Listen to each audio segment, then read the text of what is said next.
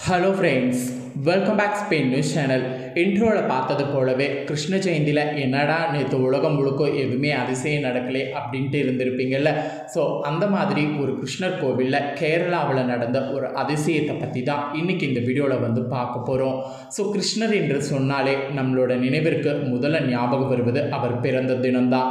அவர் பார்த்தீங்கன்னு வச்சுக்கோங்களேன் ஆவணி மாதத்தில் தேய்பிரையில் அஷ்டமி என்ற அந்த ஒரு நாள் அன்னைக்கு பிறந்திருக்கிறாரு.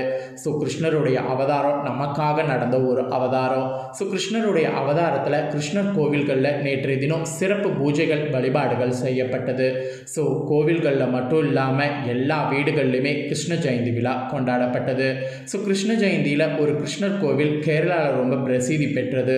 அங்கே இருக்கக்கூடிய கோவிலில் ஒவ்வொரு வருடமும் சிறப்பு அபிஷேக அலங்காரங்கள் கிருஷ்ணருக்கு செய்யப்படும். அந்த மாதிரி இந்த வருடம் கிருஷ்ண ஜெயந்திலையும் சிறப்பு அபிஷேகங்கள் அலங்காரங்கள்லாம் செய்யப்பட்டிருக்கு.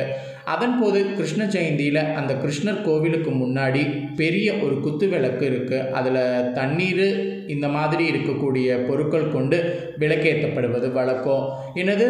தண்ணீருங்கிற எண்ணெய் தானே ஊற்றுவாங்க நீ என்ன தண்ணின்னு சொல்கிறேன்னு கேட்கலாம். ஆமாம் தண்ணி தாங்க ஊற்றுவாங்க ஸோ அப்படி ஊற்றுனாலும் விளக்கு பார்த்தீங்கன்னு வச்சுக்கோங்களேன் எரியுது. அதுதான் இந்த கிருஷ்ணருடைய லீலை.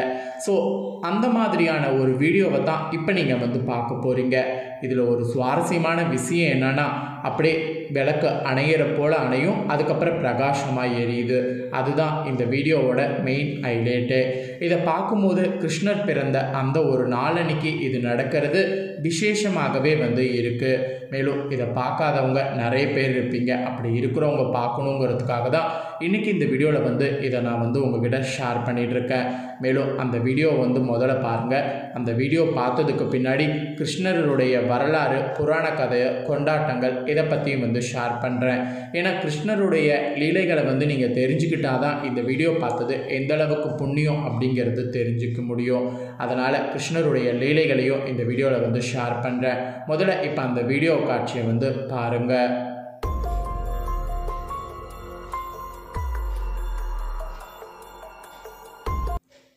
என்ன நண்பர்களே வீடியோவை வந்து பார்த்தீங்களா?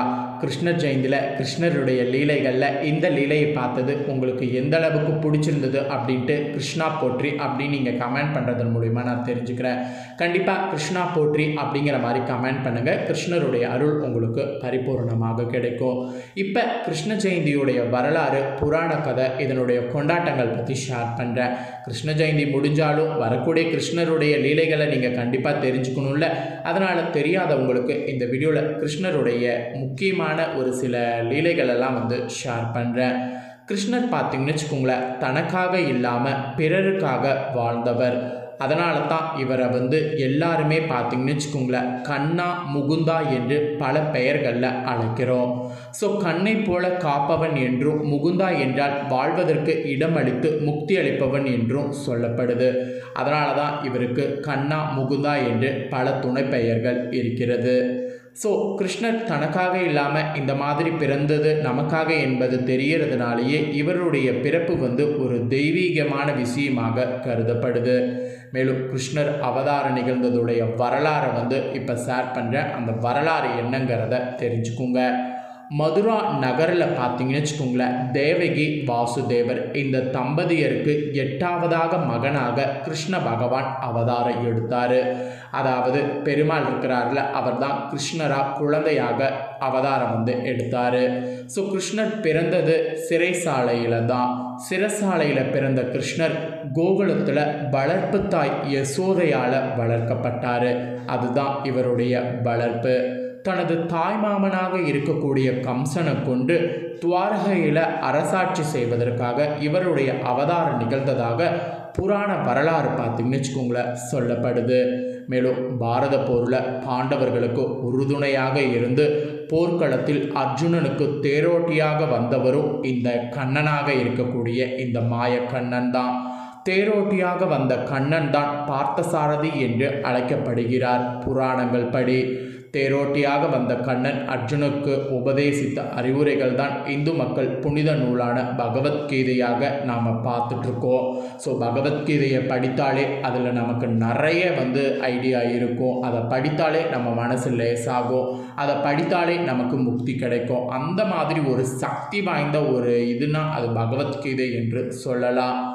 தன்னுடைய கடைசி காலத்தில் வேடன் ஒருவன் எய்த அம்பு காலில் வந்து இது பட்டிருக்கு ஸோ அப்படி காலில் தைக்க பூலோகத்தில் கண்ணன் பார்த்தீங்கன்னு வச்சுக்கோங்களேன் அவதாரத்தை முடித்து மீண்டும் வைகுண்டம் சென்றார் என்று கூறப்படுவது உண்டு.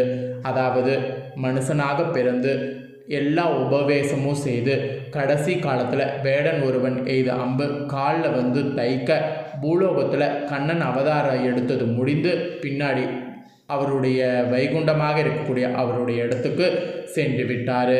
ஸோ இப்படி தான் கிருஷ்ணருடைய அவதாரம் பிறந்து முடிந்திருக்கிறது.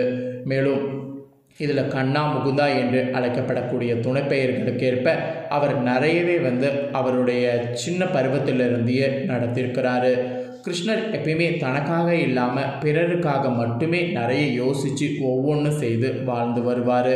அர்ஜுனனுக்கு எப்படியோ அதே போல தான் எல்லாருக்கும். அதனாலேயே இவரை வந்து கண்ணா கண்ணா என்றெல்லாம் நிறைய பேர் அன்போடு அழைப்பாங்க. கண்ணை போல காக்கக்கூடியவரை கண்ணா என்று அழைக்காமல் வேற என்ன என்று அழைக்க முடியும் அப்படிங்கிற மாதிரியே நிறைய பேர் இவரை அந்த மாதிரியே அழைப்பாங்க. ஸோ இவருடைய வருகங்கிறது பார்த்தீங்கன்னு வச்சுக்கோங்களேன் ரொம்பவே முக்கியமான ஒரு விஷயமாக கருதப்படும்.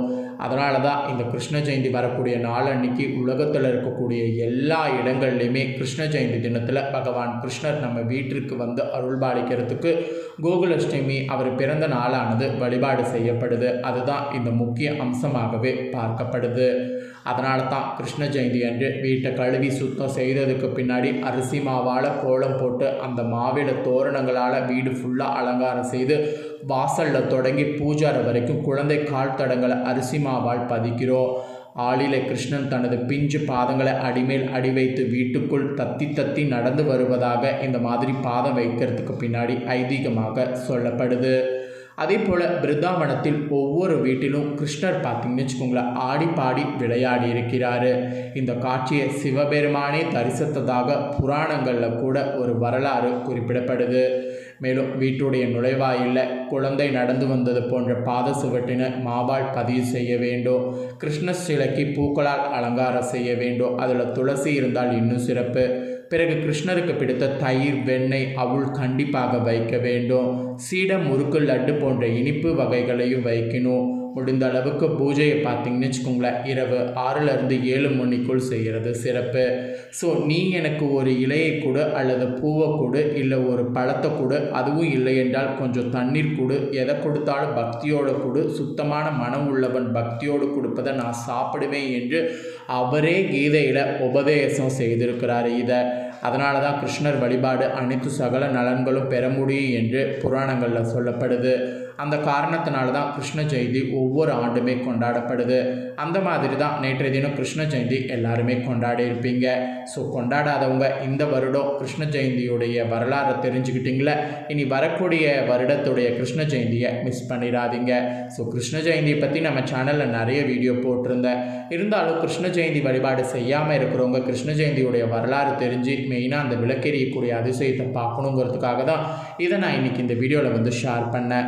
கண்டிப்பாக இந்த வீடியோவை ஸ்கிப் பண்ணாமல் பார்த்த அத்தனை பேருக்கும் இந்த வீடியோ பார்த்தது மனநிறைவாக இருந்திருக்கும். ஸோ கண்ணுக்கும் சரி காதுக்கும் சரி விருந்தாகவே இருந்திருக்கும். கண்ணுக்கு பார்க்கறதுக்கும் சரி காதுக்கு கேட்கறதுக்கும் சரி இது கேட்கும்போது அவ்வளோ ஒரு சந்தோஷமாக இருந்திருக்கும். ஸோ சந்தோஷமாக இருந்ததுன்னா இந்த வீடியோ லைக் பண்ணி உங்கள் ஃப்ரெண்ட்ஸ் ஃபேமிலிக்கு ஷேர் பண்ணுங்கள் உங்கள் ஃப்ரெண்ட்ஸ் ஃபேமிலியில் இருக்கிறவங்களும் இந்த சந்தோஷத்தை அவங்களும் வந்து பார்க்கட்டும்.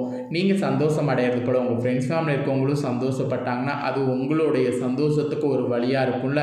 அதனால் அவங்களும் சந்தோஷப்பட்டுட்டோம். அதனால் வீடியோ மட்டும் மறக்காமல் ஷேர் பண்ணுங்கள் அதே போல் கிருஷ்ணருடைய வழிபாடு வரக்கூடிய மற்ற மாத அஷ்டமியில் செய்யலாமான்னு கேட்டிங்கன்னா மற்ற மாத அஷ்டமியில் செய்யக்கூடாது. ஆவணியில் வரக்கூடிய தேய்பிரை அஷ்டமி அப்போ தான் செய்யணும். இந்த ஆண்டு முடிஞ்சிருச்சு. திரும்ப அடுத்த ஆண்டு வரையும் வெயிட் பண்ணி தான் ஆகணும். ஸோ இந்த ஆண்டு நாம் மிஸ் பண்ணிட்டோமே அப்படின்ட்டு வருத்தப்பட வேணாம். இந்த வீடியோ பார்த்து இந்த தாள்களை கேட்டிங்களே இதுவும் உங்களுக்கு புண்ணியம்தான். ஸோ மேலும் இதே போல் புதிய அப்டேட்டான நிறைய வீடியோ நம்ம சேனலில் போடப்படும். அதே எல்லாத்தையுமே உடனுக்குடனே நம்ம சேனலில் தெரிஞ்சுக்கணும்னு நினச்சிங்கன்னா இது வரைக்கும் நம்ம சேனலை சப்ஸ்கிரைப் பண்ணனா சப்ஸ்கிரைப் பண்ணி பெல் பண்ண ப்ரெஸ் பண்ணுங்கள் ஃபஸ்ட் டைம் பார்க்குறவங்க சப்ஸ்கிரைப் பண்ணாதவங்க சப்ஸ்கிரைப் பண்ணி பெல் பண்ண ப்ரெஸ் பண்ணிட்டீங்கன்னா சுவாரஸ்யமாக நான் போடுற அப்டேட்டான எல்லா வீடியோஸும் உடனுக்குடனே நீங்கள் தெரிஞ்சுக்கலாம். ஸோ சப்ஸ்கிரைப் பண்ணாதவங்க சப்ஸ்கிரைப் பண்ணி பெல் பண்ண ப்ரெஸ் பண்ணிடுங்க இதே போல் சுவாரஸ்யமாக வேறொரு புதிய அப்டேட்டான தகவல்களோடு மீண்டும் இன்னொரு ஒரு புதிய வீடியோவில் வந்து உங்களை சந்திக்கிறேன். நன்றி வணக்கம்.